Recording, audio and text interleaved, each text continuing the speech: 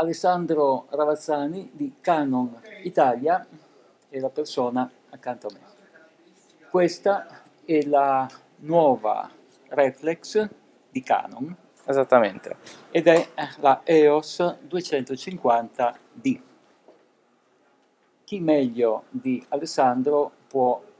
spiegarcela? Difatti lui la conosce bene e uh, al momento della presentazione sa già tutto.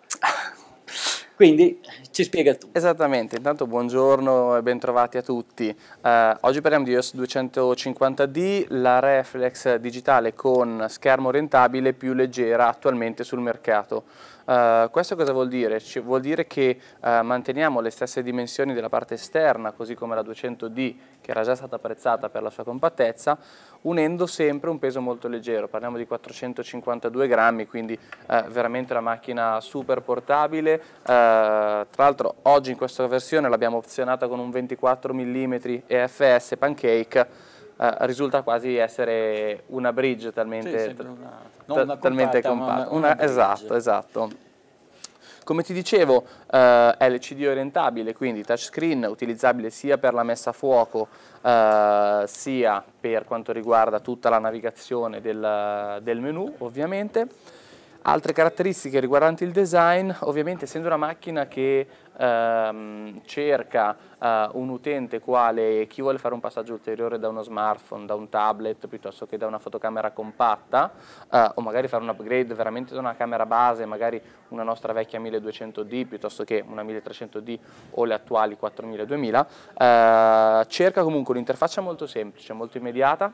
in maniera tale da aiutare l'utente a non essere intimorito da una fotocamera reflex ma ad avere un passaggio uh, più fluido. Quindi comandi molto semplici e anche all'interno troviamo una funzione che è appunto un'interfaccia guidata che ci guida passo passo nelle funzioni. Se io dovessi andare a utilizzare ad esempio la modalità priorità di tempi, mi spiegherà che con tempi più veloci avrò un'immagine più congelata, tempi più lunghi magari creerò un effetto mosso, piuttosto che le stesse cose me le spiegherà nelle varie modalità. sul display compare un uh, una piccola spiegazione, una esattamente, piccola una piccola spiegazione guidata per aiutare l'utente a capire quelle che possono essere le funzioni della macchina. Oltre a questo poi abbiamo comunque l'assistente creativo classico delle nostre fotocamere eh, reflex di fascia media, così come delle fotocamere compatte di fascia elevata che ci permette di far cosa? Di andare a modificare dei piccoli parametri quali la temperatura, quale il contrasto, quale la luminosità, eh, come se fosse veramente un'applicazione un da smartphone no? e quindi ci aiuta a creare immagini uniche in maniera molto semplice senza dover avere quella dimestichezza che invece dovremmo avere se dovessimo farlo tramite i comandi manuali. All'interno della macchina troviamo un sensore da 24.1 megapixel, quindi il pari del sensore eh, di una 200D, in realtà opzionato però con un processore di G8. Eh, il processore di G8 l'abbiamo già eh, conosciuto con gli ultimi modelli mirrorless full frame, full frame EOS R ed RP, e precedentemente ad esempio con fotocamere mirrorless quali la EOS M50. Uh, cosa è il medesimo processore delle ammiraglie. Esatto, è l'ultimo processore in termini di uh, tempistiche e in termini di prestazioni. Parliamo di un processore in grado di avere uh, maggior dettaglio nel, nel salvataggio dei file JPEG, Parliamo di un processore in grado di processare al meglio immagini con bassa luminosità, quindi file in condizioni di scarsa luce migliori e parliamo di un processore che comunque assicura anche su una fotocamera entry level 5 fotogrammi al secondo con lo scatto con la modalità di autofocus in servo, quindi scatto continuo, inseguimento del soggetto, 5 fotogrammi al secondo continui. Un'altra cosa che non abbiamo detto è la connettività, eh, connettività Wi-Fi e Bluetooth, quindi eh, la possibilità tramite Wi-Fi di fare quei processi classici che già conosciamo, quindi un download delle immagini che abbiamo scattato, piuttosto che eh, un uh, live view remoto, quindi da smartphone o tablet, di quello che sta inquadrando la macchina e possiamo usarlo ovviamente come eh, pulsante di scatto. Ed infine il trasferimento automatico, quindi la possibilità di tenere l'applicazione aperta mentre io scatto direttamente dalla macchina, io scatto e tutte le foto che sto scattando andranno salvate su un dispositivo smart. Il Bluetooth invece serve per sostanzialmente eh, due processi fondamentali, anzi tre. Eh, il primo processo quello di avere sempre connessa fotocamera e smartphone o tablet. In quel caso cosa potrò fare? Potrò semplicemente accedere all'applicazione dello smartphone, una volta che clicco sull'applicazione dello smartphone e gli chiedo magari un un qual una qualche operazione con un passaggio dati importante, ad esempio il download di alcune foto, di alcuni video, ci sarà eh, automaticamente uno switch dalla modalità Bluetooth a quella Wi-Fi e a quel punto potrò fare il download con una velocità ovviamente con un traffico dati superiori di quello che potrebbe permettermi il Bluetooth. L'altra possibilità è la possibilità di mantenere sempre connessi i dispositivi anche quando la fotocamera è spenta, quindi se io dalla, in un primo momento nella fotocamera avevo impostato la possibilità di eh, essere accesa anche da remoto quando selezionato l'off, a quel punto io accedo dallo smartphone, quindi la fotocamera rimarrà nella mia borsa, accedo alla fotocamera e potrò fare un download delle foto, visionare tutte le foto e i video che ho sulla mia fotocamera, anche se questa rimane spenta nella mia borsa, quindi non avrò necessità di estrarla, non dovrò farla vedere in pubblico se magari sono in una situazione dove preferisco che la fotocamera non, uh, non cada, uh, cada nell'occhio di, di, qualche malintenzionato o altro, e, e quindi questa è una seconda possibilità. La terza possibilità è la possibilità di avere un GPS via mobile, quindi io faccio le mie foto, la macchina è sempre connessa tramite Bluetooth al mio smartphone, le coordinate dello smartphone inseriranno i dati GPS sulla foto, quindi se io vado a, ri a ritrovarla, esattamente,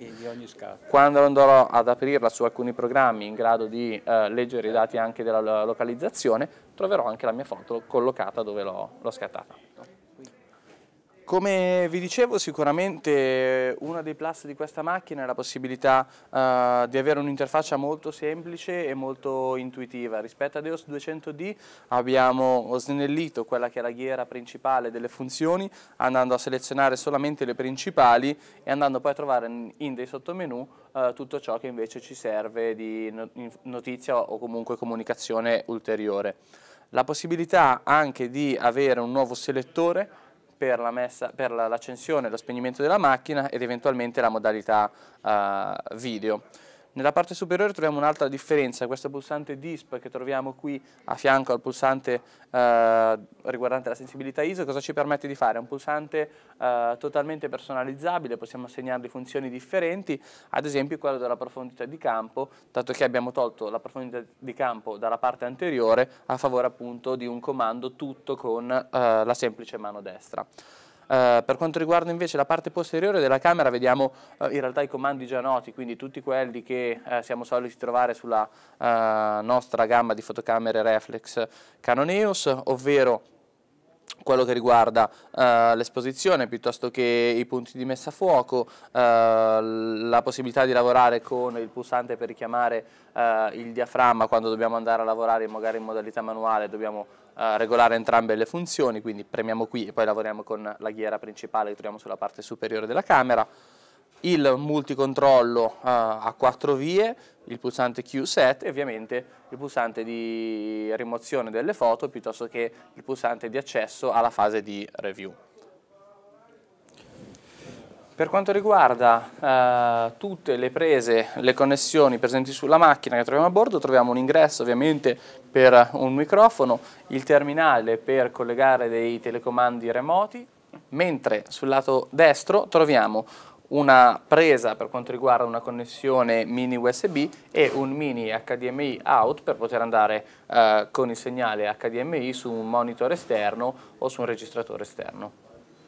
Ovviamente l'LCD orientabile è touchscreen, quindi possiamo andare a lavorare in qualsiasi modo per andare a posizionare il fuoco sul, sullo schermo. La cosa carina è l'assistente creativo, ad esempio, quindi la possibilità, come vi dicevo, di accedere a tutte quelle funzioni che possono essere un pochino più eh, smartphone user di andare a modificare la nostra foto in base alla, alla necessità. Io posso scegliere qualsiasi cosa, posso lavorare ad esempio sulla saturazione, posso andare a lavorare sulle tonalità, posso scegliere di dare un tocco più freddo alla mia foto o più caldo se voglio la foto differente, così veramente da rendere unica unico il mio scatto, così con l'assistente creativo, così come qualsiasi altra modalità. Ad esempio se io vado a modificare tra le varie aree del menu vediamo che vengono elencate le possibilità creative, priorità di tempi, soggetto più mosso piuttosto che un soggetto bloccato, eh, priorità di diaframma se voglio fare uno sfocato con un effetto bokeh piuttosto che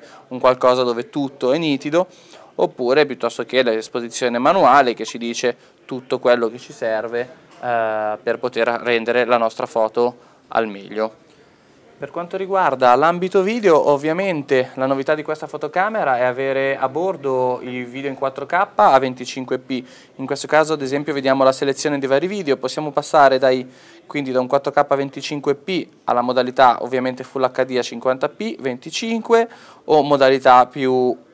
leggere. Inoltre è disponibile un'altra funzione che ci permette di riprendere a 120 fotogrammi al secondo in modalità in questo caso HD in modalità HD senza ovviamente il fuoco uh, regolabile né uh, la possibilità di avere il suono a bordo. Questo ci permette di fare degli slow motion poi riportati a 25 fotogrammi, quindi avere un soggetto molto veloce ripreso in un semplice clip da 25 fotogrammi classico. Per quanto riguarda il 4K, invece altre modalità di registrazione sono il time lapse, quindi la possibilità di creare un time lapse in 4K, una serie di foto uh, una in seguito all'altra, per quanto riguarda sempre il 4K abbiamo anche a bordo il frame grab, ovvero la possibilità di estrarre dei singoli fotogrammi da ogni filmato che abbiamo registrato. Per quanto riguarda il Full HD invece possiamo creare sia Full HD a 50p sia a 25p e eventualmente applicare anche dei filtri in fase di registrazione, quindi rendere già dei filmati, dei filmati unici in fase di ripresa.